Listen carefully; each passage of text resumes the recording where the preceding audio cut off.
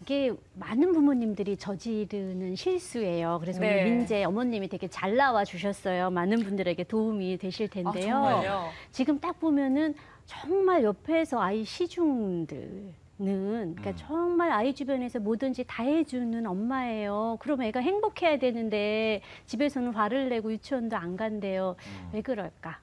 자, 오늘 우리 민재 어머님 이거를 핵심 단어를 말한다면은 우리 어머님의 양육 스타일은 헬리콥터 맘이에요. 네. 헬리콥터 헬리콥터 맘. 맘. 음. 아이 주변을 계속 맴돌면서 뭐든지 다 해주는 네. 엄마.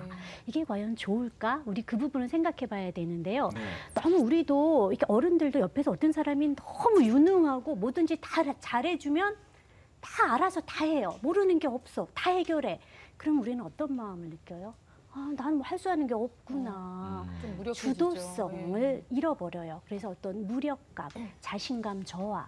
그러면서 나는 혼자 못하니까 엄마에게 의존할 수밖에 없구나라는 마음을 느끼고 예. 바로 그게 민재의 문제라고 할 수 있어요. 아.